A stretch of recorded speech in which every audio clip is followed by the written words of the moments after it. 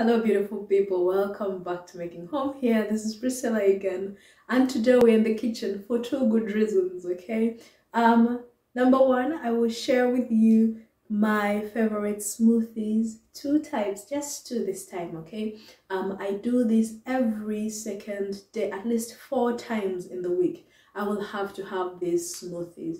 If you're a person you have got a very busy morning because of children, because of work, because of anything, okay, but still you want to have a heavy and healthy breakfast, this is for you okay? So people let me know are you a smoothie person or a juicing person? Please let me know down in the comment section. And if you want to see more of such videos of um, smoothies juicing um, and teas, normal teas, but also chai teas. If you want more of such content, please, please let me know down in the comment section so that I can share with you what I do prepare for myself in that section, juices and smoothies and teas for myself and my family, okay? So let's get started. I hope you like this. And if you do, don't forget to like this video, okay? And share it if you think it is necessary. Let's get to work. So for each and every smoothie that I do, um, I've got basic ingredients that I always use regardless which smoothie I am doing, okay? Number one ingredient is Greek yogurt, then chia seeds, then we've got um, oatmeal. Like these three ingredients are always in my um, smoothies. And of course, not to forget almond milk, okay? So these are the four ingredients that I use in every smoothie. Um, feel free to be very creative on your own smoothies.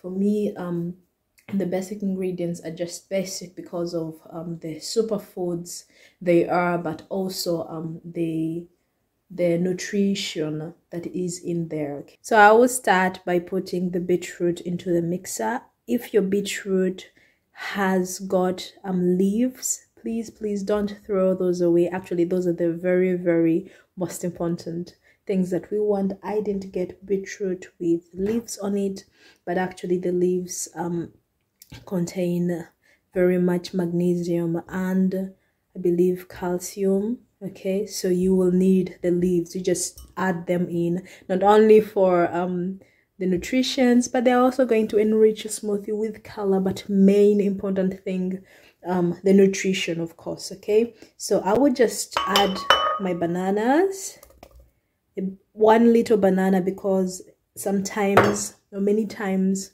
these smoothies are mine alone, okay? Especially early in the morning when everybody has gone to work or daycare. This is my smoothie, okay? So I just took a little banana and just add in whatever you want for fruits, okay? For sweetness, and whatever. I just went in with my bananas and some himbeere. Please let me know what himbeere are in English. I always forget the word, okay? Himbeere is German, so just let me know what it is in English and down below in the comment section. So here we've got our um chia seeds. Like I told you, this is um two spoons, two big spoons, two tablespoons of chia seeds. This is my power um food number one okay? I think i once told you about garlic but chia seeds are something else okay? In the they're really helping me right now that i am physically really needing so much energy. Um oatmeals if you're not new here you know i am an oatmeal sucker so yeah there we go. Of course yogurt and um milk okay feel free to use whatever milk you have got at home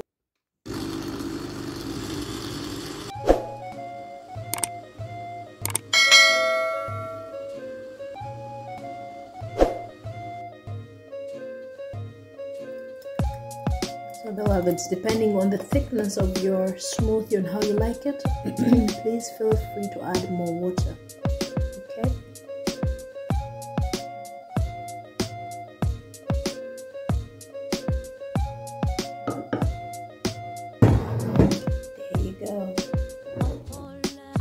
So beloveds, our next one is the very, very common one that we might be knowing, okay?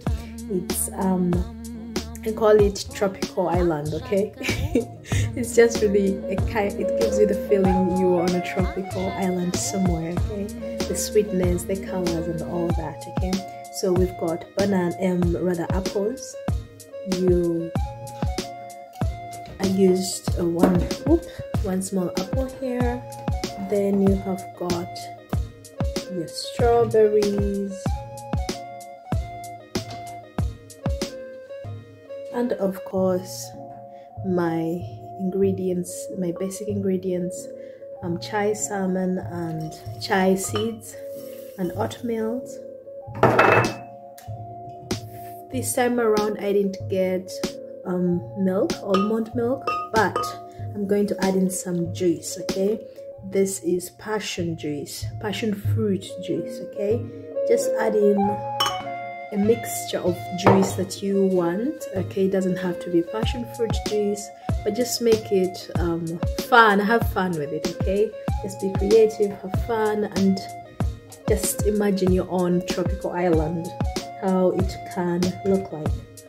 So we've got yogurt